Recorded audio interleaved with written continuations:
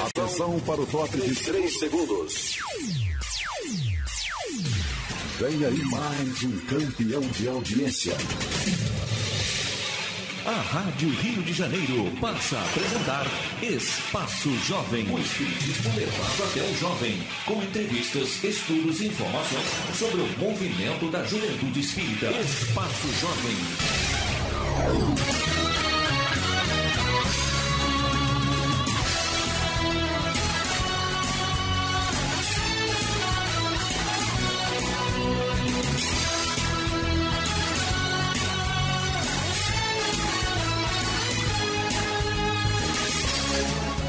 Boa tarde, galera da Rádio Rio de Janeiro.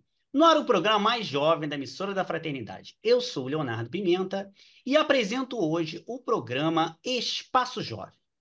E no programa de hoje, nós teremos um bate-papo sobre a Comel, que é a confraternização das mocidades e famílias espíritas da Leopoldina. E para a gente poder saber como é que está o encontro desse ano, nós convidamos o Saul André e a Bianca Estevam para poder falar um pouquinho sobre o encontro. Olá, pessoal, bem-vindos ao Espaço Jovem. Olá, Olá, boa tarde. Boa tarde, gente, tudo bem? Espero que estejam todos bem. Pessoal, como é que surgiu a ideia da Comel? Que são 34 anos de Comel, né? Como é que surgiu? Essa é, eu vou pular à frente do Saul. Tá, pode Porque ele, ele, se ele começar a contar a história, a gente vai terminar do que vem. Mas vou, já vou trazer um resumo aqui pro pessoal e o Saul vai brilhantar com as histórias dele. Mas ela vem de um encontro que era a Semana do Jovem, e aí era um evento itinerante, né? Então ia rolando aos finais de semana em algumas casas espíritas, e isso aproveitava, mobilizava bastante os jovens após a Comerge, né? Para ir visitar as casas espíritas das regiões ali da Leopoldina. Mas aí depois, pelas necessidades, por algumas necessidades de ajuste, o, o Sal vai explicar melhor, mas aí a gente mudou para Comel, fez a Comel, né? É, não, não dava mais para ter essa logística de deslocamento para todo mundo, e aí o pessoal fez a Comel. É, na a Semana do Jovem, né? Era a Semana do Jovem e do Evangelizador Espírita. Ela começou no final dos anos 70, né? Foi até meados dos anos 2000, né? Como a Bianca falou, né? Cada dia era numa casa espírita, né? Por exemplo, é, segunda era no Luz e Caridade, mas quem organizava era o Jefa, e assim ia até, até sábado, né? É, a Comércio surgiu depois né, da Semana do Jovem, a Comércio começou em 79, a Semana do Jovem foi um pouco antes, né? E com o passar do tempo é, a gente sentiu a necessidade, né, de fazer um, um, fechamento, né, com uma chave de ouro na, na Semana do Jovem, né? Então a gente quis fazer uma mini Comerge nos dois últimos dias, no sábado e domingo, né? E a partir daí começou a Comel. Hoje não tem mais Semana do Jovem, né, porque era noite, dia de semana, e hoje em dia é mais complicado, né, para para juventude, né, poder ir para longe, né, ir para Penha, Ilha, Bom Sucesso, né? Então, a Semana do Jovem por enquanto parou, mas a Comel está aí já há 34 anos. Bom, vocês estão com o tema, né? É, o que é o Espiritismo. Como é que surgiu a ideia desse tema para Comel desse ano? Então, é, foi bem legal. Foi um encontro em que a gente juntou alguns jovens, alguns trabalhadores, é, e todo mundo fez uma, uma votação, fizeram uns grupos para discutir algumas ideias, alguns temas, e os próprios jovens trouxeram essa ideia do tema ser o que é o espiritismo. E Isso aí. Fez-se, então, definido o tema ali, o que é o espiritismo para essa 34ª Colmel. Mas, Saul, Bianca, como é que é feita, então, essa escolha desses temas? Então, tem uns 5, 6 anos, mais ou menos, né, que a gente deu opção para o jovem escolher o próprio tema de interesse dele. Né? A gente marca um sábado, um domingo, numa casa espírita, junta as mocidades participantes, né, divide em grupos, né, e cada grupo escolhe um, né, pega o evangelho, escolhe um tema que tem interesse, aí vai a votação. Né? Esse ano, o mais votado foi o que é o Espiritismo. É interessante isso que você está falando, Saul, porque é, a gente vê que a Comerge né, começou com esse protagonismo. Né? A gente sabe que para a escolha do tema da Comerge, sempre acontece uma reunião com os coordenadores, né, nesse período de maio, junho, para a escolha do tema que vai ser o tema que vai abordar. Né? E já há cerca de quatro anos, mais ou menos, o CER já abriu essa oportunidade para que na escolha no tema, que é o mesmo tema tanto do ENEF quanto da Comerge, os jovens de todos os polos participem é, dessa escolha. E o interessante é que essa escolha é justamente dessa forma, né? Eles se dividem em grupos, abrem ao acaso né, é, o evangelho, e dali eles vão começando justamente a fazer o tema.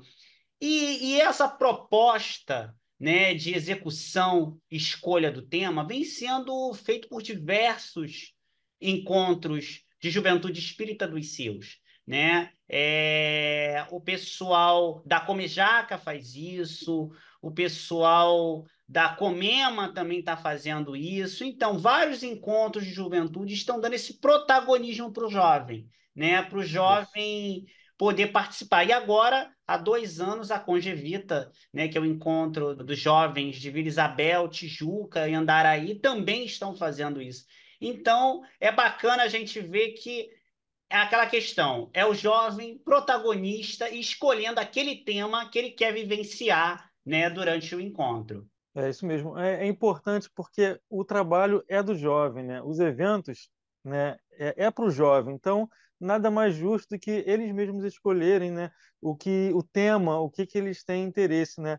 É, não que o lado espiritual esteja de lado, né? Óbvio que ali estão os nossos mentores, né, ali nos auxiliando, né, para chegar a um tema que é necessário, importante, né?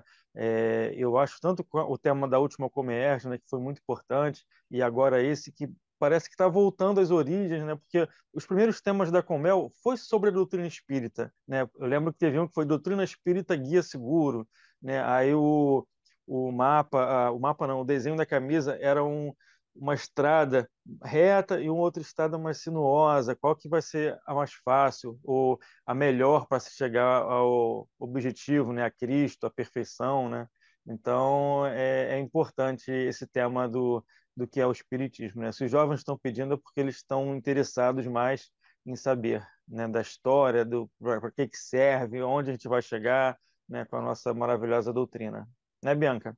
Isso aí. É... Principalmente, acho que muitos dos jovens que vêm da evangelização é um tempo muito curto para se aprofundar é, o livro dos espíritos, por exemplo, né? Então, assim, poxa, se a gente às vezes está ali há anos no, no estudo do livro dos médios, do livro dos espíritos, e ainda não aprendeu tudo, tem muito mais a explorar, os debates às vezes são super intensos, são prolongados, então imagina né, na, na evangelização tem um tempinho mais curto, tem outras atividades, tem ambientização.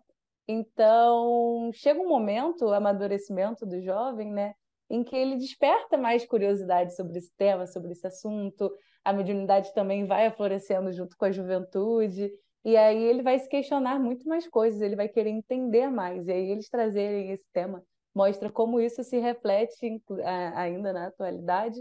E aí é um espaço para que eles possam debater, que eles possam ouvir outras vivências, outras experiências, né? E fazer essa troca ali entre eles, orientada junto com o pessoal que está trabalhando no estudo.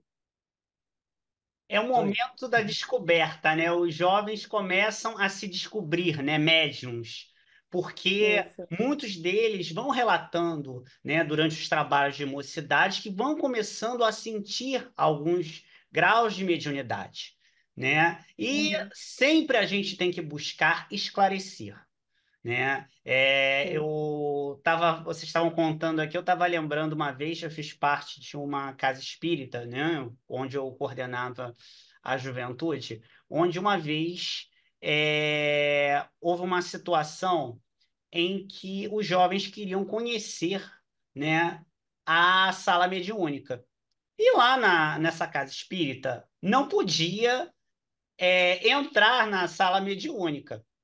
E aí eu fui conversar com a coordenadora na época do DIG. Eu falei, oh, falei oh, dona fulana, é, os jovens estão querendo conhecer lá é, o espaço tal. Aí ela falou: Ah, mas você sabe que não pode entrar nesse espaço, tudo. Aí eu falei: Pois é, mas é importante eles conhecerem porque muitos estão achando que acontecem fenômenos mediúnicos dentro da sala. E a gente sabe que não é assim. Então, eu acho que seria interessante o pessoal estar tá vendo que é uma, que é uma, o que é uma sala de mediunidade. E aí ela virou para mim e falou assim: é, a gente está num novo momento, né? Eu falei, sim, estamos num novo momento. Ela falou: ah, então leva os jovens para ver. Eu lembro que eu levei esse grupo de jovens para a sala. Quando eu abri, mostrei para eles. Eles falaram assim: mas, gente, é isso? É só isso? Não tem nada, nenhum fenômeno? Eu falei, não, gente, não tem. Ah, então é aquela questão, eles estão nessa fase, principalmente na faixa etária, né, de, de 12 anos para cima, é uma faixa etária que já começa já essa descoberta. E quando eles viram, eles ficaram tranquilos. Então, é sempre bacana a gente estar tá trabalhando esses temas e ver que a mediunidade, ela faz parte do processo de todos nós e ela vai se desenvolvendo. Claro que cada um de nós vai desenvolver, mesmo com o estudo, o aprofundamento do estudo, quando chegar o período para participar das reuniões mediúnicas. Entendeu? Agora, a gente tem que esclarecer os jovens, para que os jovens entendam o que está acontecendo com eles. Por isso, essa questão da fase da descoberta.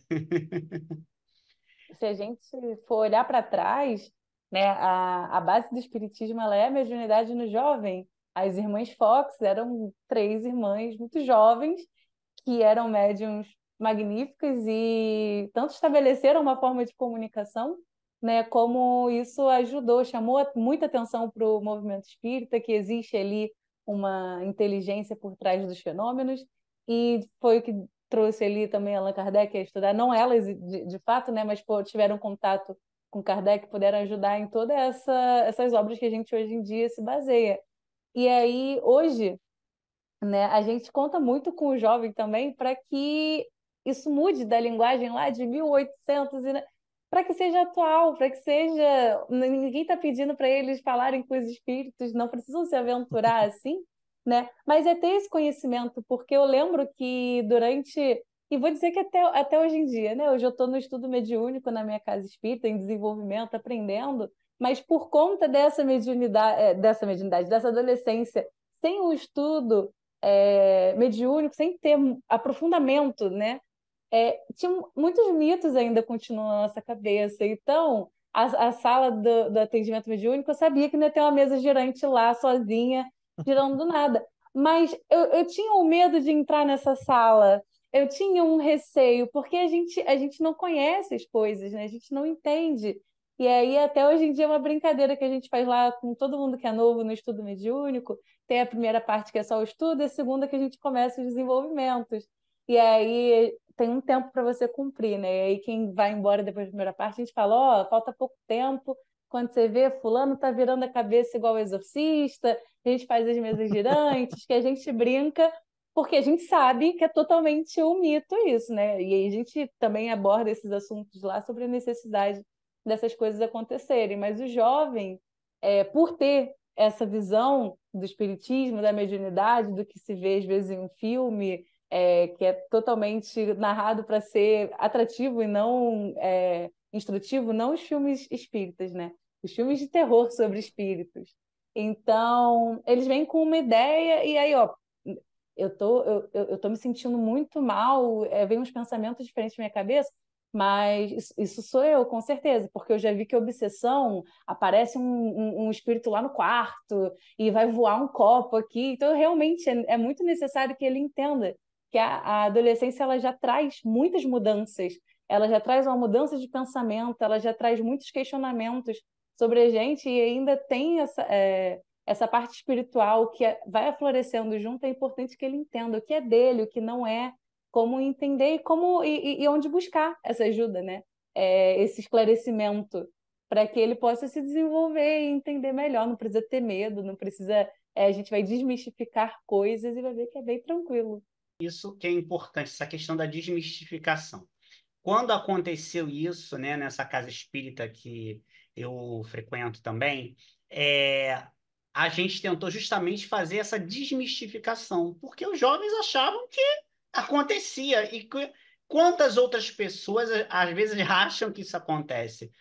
E aí é importante a gente desmistificar, a gente informar. Quanto mais a gente informa, quanto mais o jovem estuda, mais ele vai estar preparado para lidar com a mediunidade dele e estar buscando se aprofundar naquele estudo. Então, uhum. assim, é, é, é, muito bacana essa, tua, essa sua fala, Bianca, porque é bem assim, a gente tem que passar cada vez mais o conhecimento.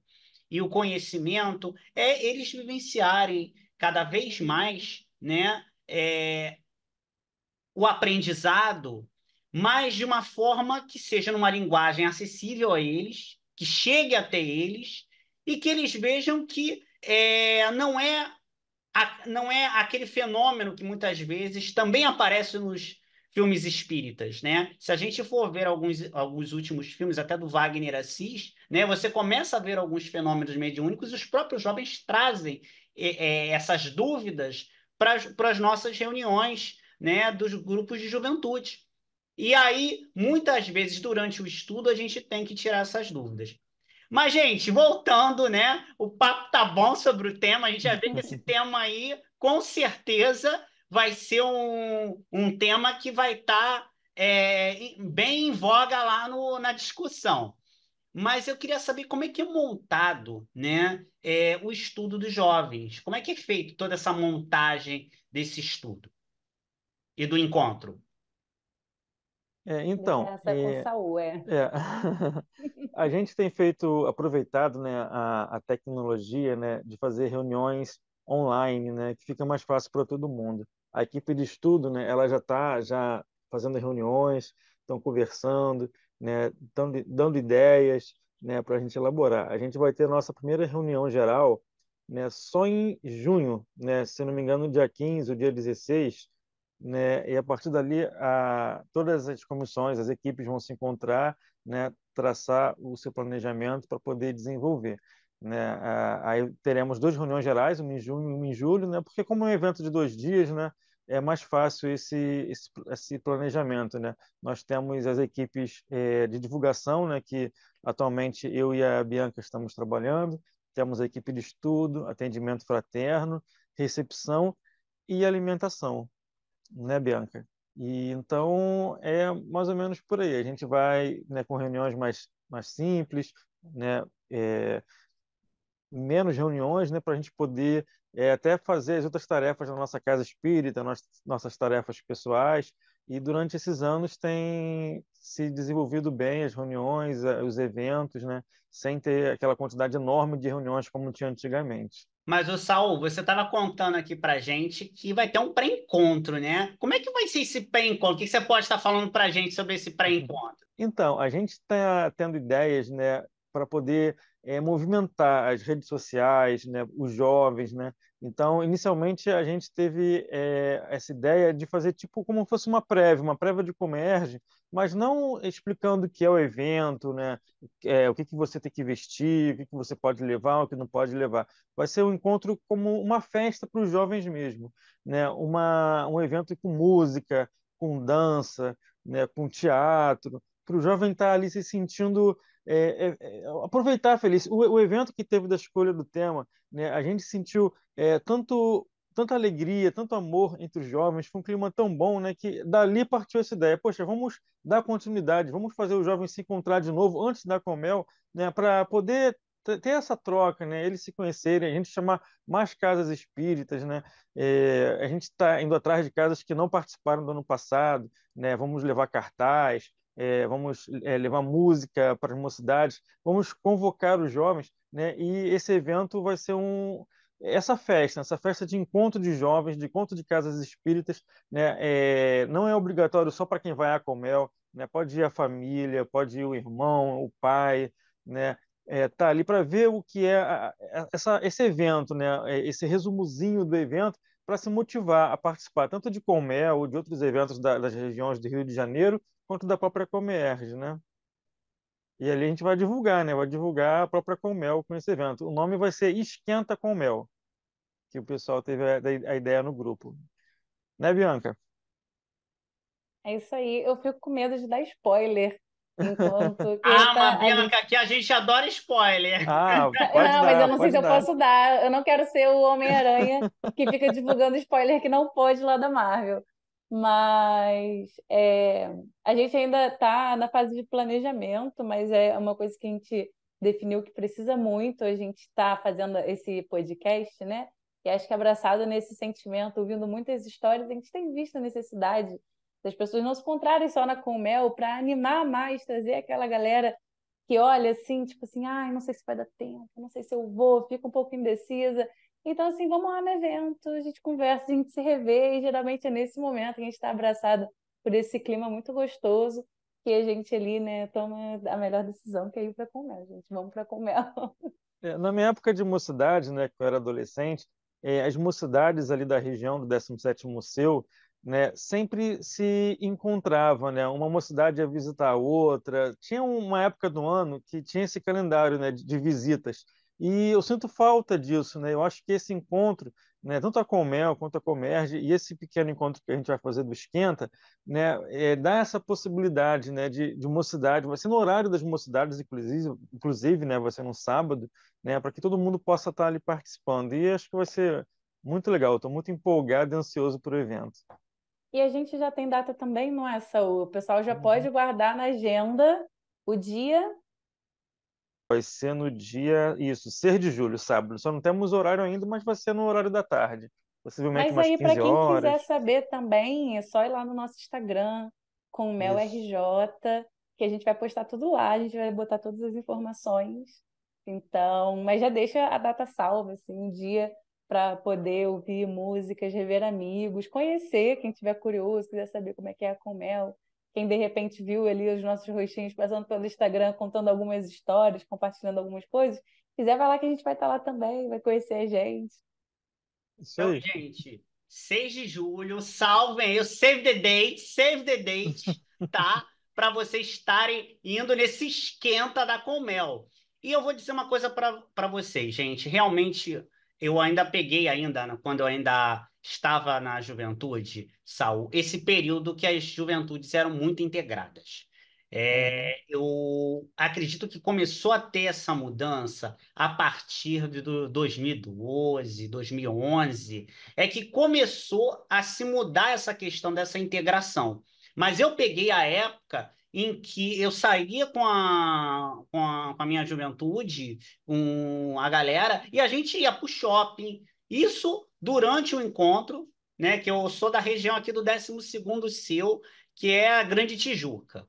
Então, uhum. assim, a gente saía dos encontros e o encontro lotava, viu? Era uma época que eram esses encontros muito cheios. Então, a gente saía de lá, ia comer uma pizza, ia pro shopping, enfim, e a gente visitava uma casa da outra. Só que hoje a gente percebe que realmente é, não tem acontecido isso. É, essas visitações têm sido muito poucas.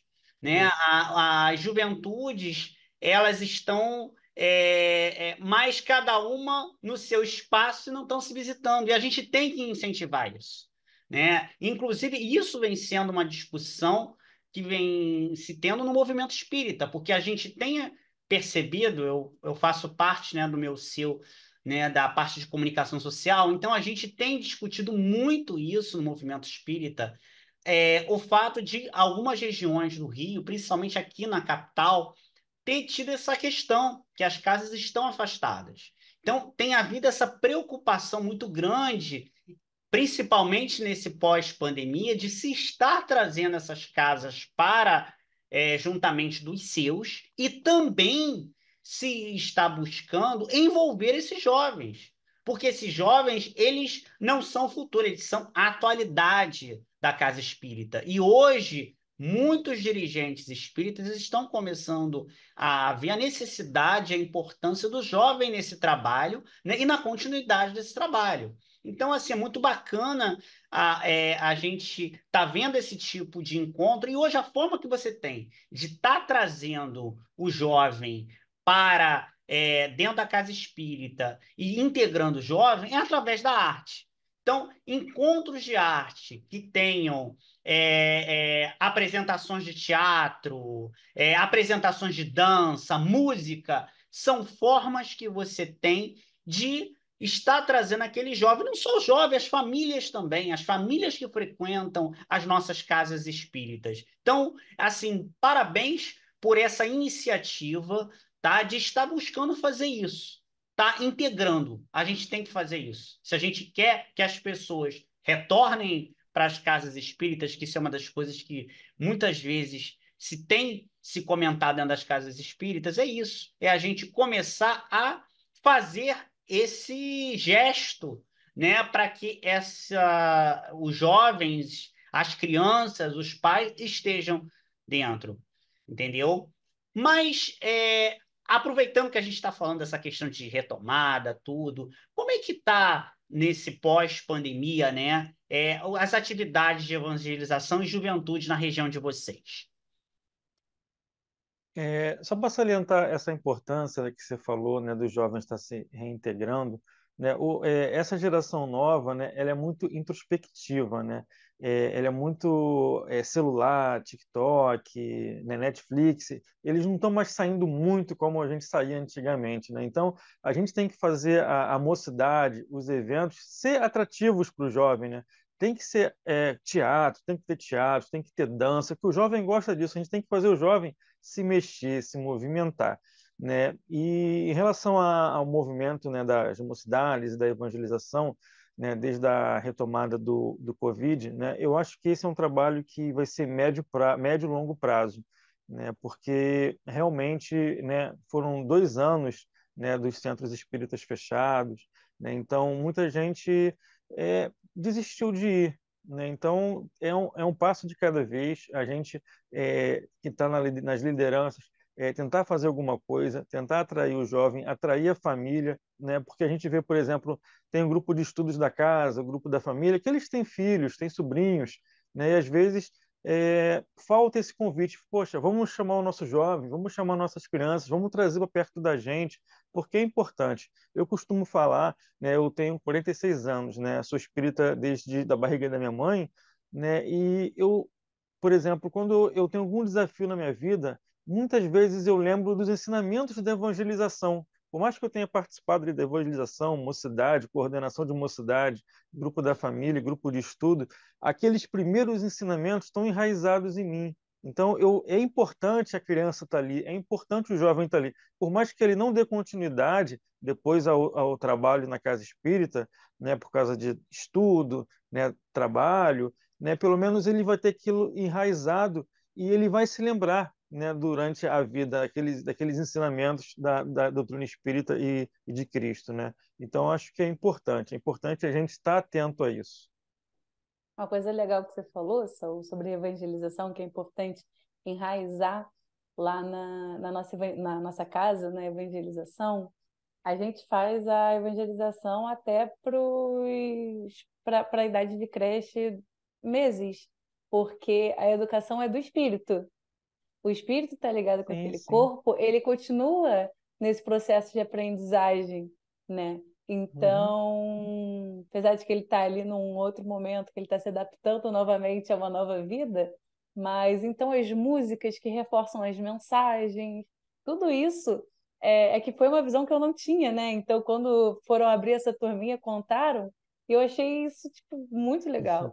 Que é, desde o início, assim, ter essa noção. Eu também cresci, não, não sei se eu fui nessa essa turma, acho que não tinha, mas eu cresci na evangelização espírita, né? Eu também passei por todo esse processo e minha mãe sempre me incentivou a ir nos eventos espíritas, mas o que me, me pegou pelo coração foi a arte.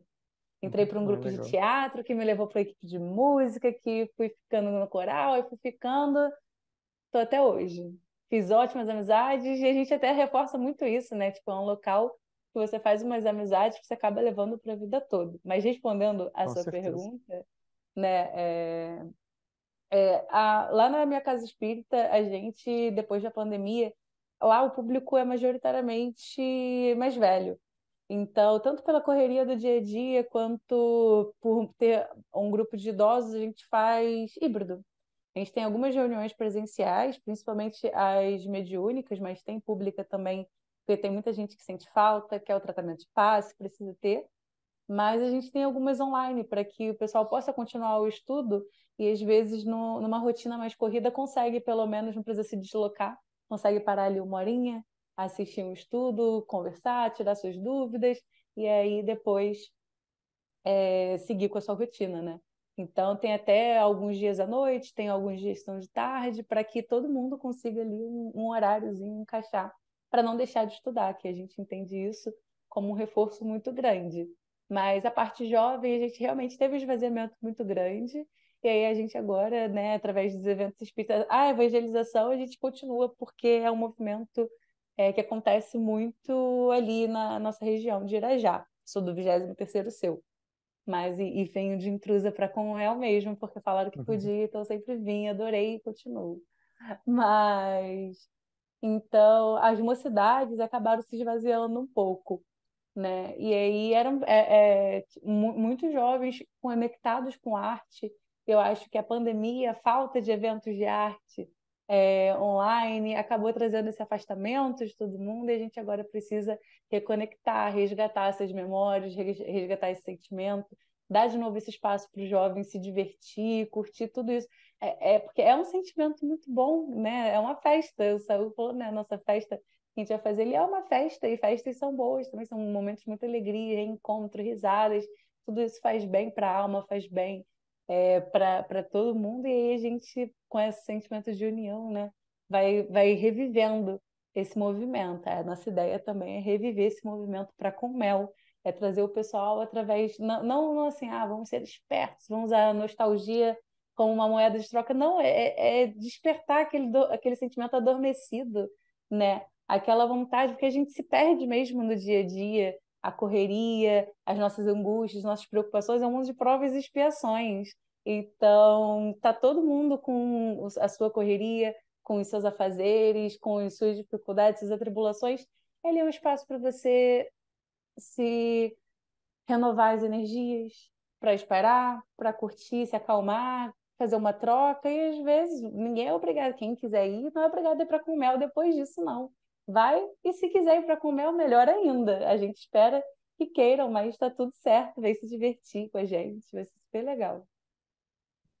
É reforçar esses laços de pertencimento, né? A arte ajuda a reforçar essa questão dos laços de pertencimento.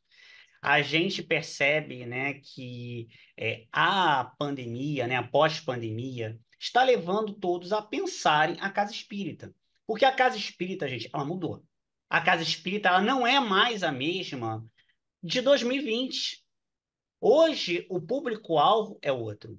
Por quê? Porque as coisas foram mudando. Né? No caso do jovem, a gente sabe que o jovem já há algum tempo tem a questão que ele entra cada vez mais cedo no mercado de trabalho, ele vem encontrando uma demanda, então muitas vezes ele tem que deixar, às vezes, por um tempo, a juventude né, para poder estudar, né, para passar no vestibular, integrar né, a faculdade. A gente sabe que as faculdades também é, mudaram. Hoje em dia você tem aulas aos sábados, né? E os próprios alunos na, nas escolas de ensino fundamental, ensino médio, também está assim. Hoje em dia a, o pessoal tem aula no fim de semana.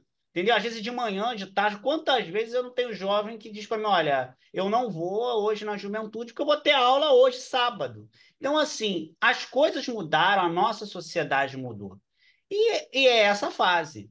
E agora, né, que a gente tem que cada vez mais também despertar nas crianças essa questão dos laços de pertencimento. E como é que você vai, vai fortalecer esses laços de, de pertencimento? Através da arte buscando estar tá, é, integrando as crianças cada vez mais né, na casa espírita desde a infância, porque o laço de pertencimento ele não se cria na juventude. Você até na juventude você vai começando a criar, caso você não tenha criado é, durante é, o período da infância, mas se você quer realmente começar a construir isso é na infância. Que aí, quando chega na juventude, o jovem ele já vai estar motivado porque ele teve todo esse desenvolvimento na, na infância. E aí, na juventude, fica mais fácil do jovem se sentir é, bem acolhido e ele vai retornar. Então, se a gente não faz esse trabalho de pertencimento desde a infância, fica muito difícil na juventude. Na juventude, a gente busca, como facilitador, como evangelizador, construir isso. Mas é um trabalho contínuo. E aí que entra a questão da importância da família. A família, ela tem que também estar participando das atividades de evangelização. A família tem que estar também trazendo os jovens, as crianças e os pais também participarem desse trabalho de, de evangelização. Porque quando o jovem e a criança estão tendo um tema, os pais têm um grupo para eles, que muitas vezes é o grupo de pais. E lá isso vai fortalecer cada vez mais os laços familiares. E é por isso que é importante na casa espírita a gente reforçar também a importância da família nas nossas reuniões públicas. Mas voltando, que a gente está falando aqui da Colmel, né, que vai falar sobre o que é o espiritismo, né? É... Como é que o pessoal pode estar tá se inscrevendo para para Colmel? Vai ter alguma taxa? Como é que vai ser? E se onde vai ser a Colmel desse ano? Então, é, a Colmel, né, ela vai acontecer nos dias 27 e 28 de julho. Vai ser na AEFA, Associação Espírita Francisco de Assis, é, que fica em Genópolis, ali meio perto de Bom Sucesso, Maria da Graça, Manguinhos, né, mas o nome do bairro certo ali é Higienópolis. E vai ter a cobrança do valor né, para ajudar na alimentação, né, um valor é, simbólico, né, é, R$ reais. E a gente tem a opção também com a camisa do evento, que é 55 reais a mais. Né? Ou seja, não tem nem, a gente nem visa lucro, né? é preço de custo mesmo para todo mundo poder participar. Né? E para se inscrever, é, você tem três formas.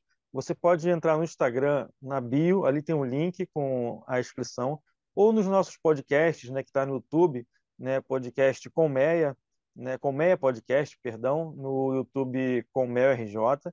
Ali tem, em todos os vídeos tem um QR Code que você é, pode mirar o celular, né, apontar e, e vai direto para o site ou você pode escrever no próprio celular ou na, no computador é, simpla.com.br, simpla com Y. Aí no busca lá você escreve com mel que aparece lá o formulário de inscrição. Né? Certinho, Bianca? Mais certo que isso, só se eu puder fazer uma adendo no Simpla. Para quem for pelo Simpla, os jovens hoje em dia conhecem bastante que vende ingresso para show, eventos. É, lá o valor da inscrição está zerado. Porque para a gente não ter que gerar taxa extra pelo custo da plataforma lá, a gente deixa zerado, mas no final estão as informações, no, no final não, acho que no, no início já, tá a informação ali de como realizar o pagamento, depois manda o comprovante para o telefone que está lá, e a inscrição fica certinha. Mas também vai receber o e-mail, onde tudo espaço para tirar as dúvidas, para conseguir tudo, só para não estranhar, né? É a promoção, ou então o Saul falou ali que tinha um valor, chegou aqui tá de graça, o que aconteceu? Não, que aí a gente ali, para não gerar um custo extra, é, a gente deixou lá o valor zeradinho. Que eu fui a primeira pessoa, ué, o que aconteceu aqui? Então, galera, vamos nos inscrever para Mel, viu? As inscrições estão abertas, então vocês podem acessar, né? é, através do Instagram da Comel, que é o arroba ComelRJ. Repetindo, arroba ComelRJ. E lá vão ter todas as informações, tudo. E em breve, né, vai ter o Esquenta, o Esquenta da Comel aí, com várias atrações. A gente aqui no Espaço Jovem, a gente com certeza vai estar tá divulgando, né? Porque é isso. A gente tem que cada vez mais estar tá fortalecendo a arte espírita e a juventude no movimento. Pessoal, a gente está chegando ao finalzinho do nosso programa. Mas antes, a gente queria que você deixasse uma mensagem final aos nossos ouvintes aqui do programa Espaço Jovem. É... Então, Léo, é, a gente né, dá essa importância para o jovem, né, para a criança, né, para poder estar presente ao nosso evento. Né, a gente é, dá importância, muita importância à arte, à música. Inclusive, a gente vai fazer agora em junho, né, a gente está pegando alguns é, artistas que vieram ali da Comel, como Alan Filho, Fábio do Espelho da Alma, Haroldo do Espelho da Alma, Ariovaldo, que já participou no passado cantando, né, é, Vinícius também do Espelho da Alma, é, Liz Donato, é, e vamos pegar essa galera, vamos gravar é, eles cantando músicas e vamos postar no YouTube, né, para fazer um evento, né? A gente deu o nome de Com Música, vai ser um evento virtual, mas possivelmente a partir do ano que vem a gente vai fazer presencial também, vai ser mais uma oportunidade de estar todo mundo ali junto, né? Então vamos participar, vamos ir na nossa casa espírita, na nossa mocidade, nos eventos, vamos nos conhecer, nos reconhecer, vamos crescer, né? Essa é a minha palavra de hoje.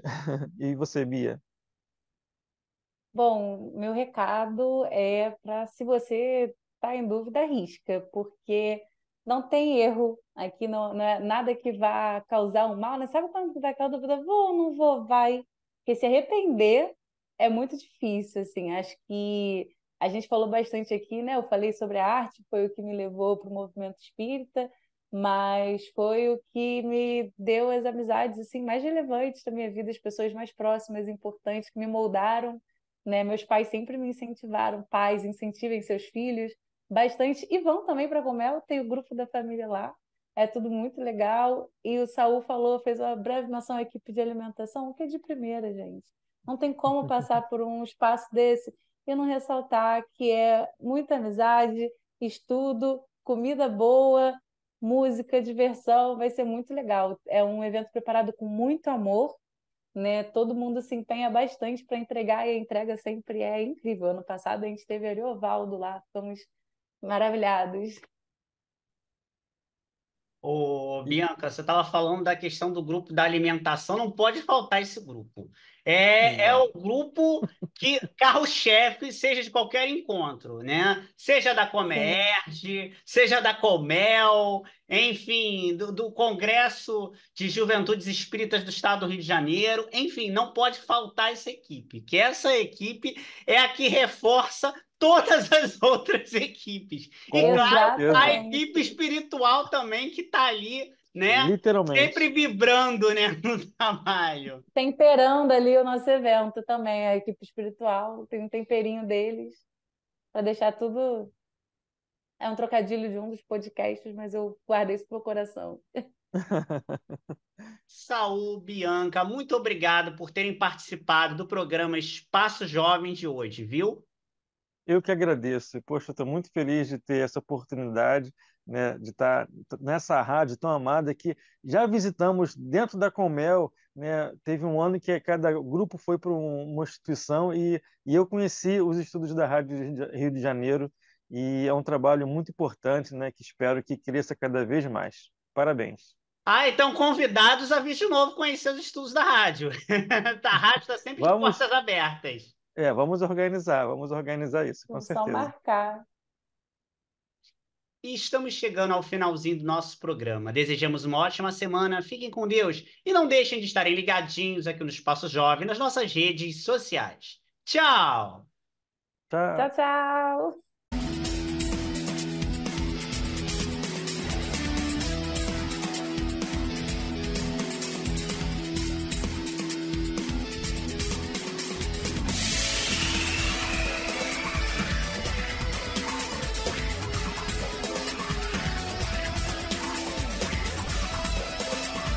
Rádio Rio de Janeiro apresentou Espaço Jovem.